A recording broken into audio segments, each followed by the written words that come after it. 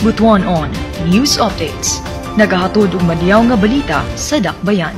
Maayong adlaw dakbayan sa Butuan ug sa mga gasubay online. Kini si Jezreel Sudario alang sa Butuan on News Updates. Ug niya na ang uluhan sa mga balita. Parolanhong barangay gidisplay sa ceremonial switch on.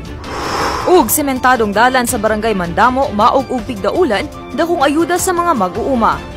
Alang sa mga detalye, usa sa mga Christmas decorations nga gibida sa ceremonial switch on sa City Hall compound, mao ang mga parol sa Barangay Christmas Lantern Contest o Parolanhong Barangay. Maanyag ang mga parol nga gama sa plastic bottles, CDs, banig, water lily, LED lights ug uban pa nga gihimo sa matag barangay sa Butuan City nga ni partisipar sa maong kompetisyon. Mamahimong musuroy sa City Hall compound uban ang mga pamilya ug barkada kung gustong malantaw sa mga parol nga i-display hangtod December 20, 2019.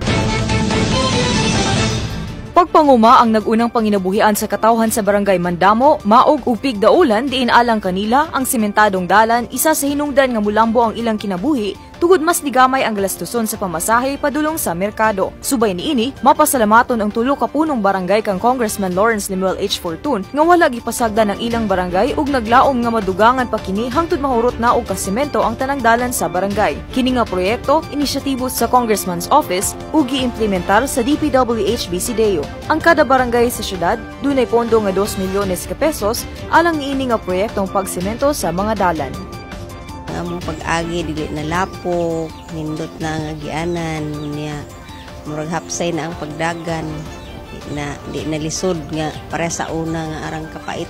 Niya murag nindot na agianan labi na sa mga motor nga ditso-ditso na ang motor dili na magkalapok-lapok.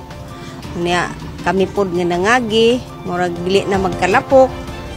Atong pasalamatan ng atong mayor si Mayor Lagnada sa gihimo karon nga mga kalsada labi na sa kalsada nga naa na gyud sa among tungod.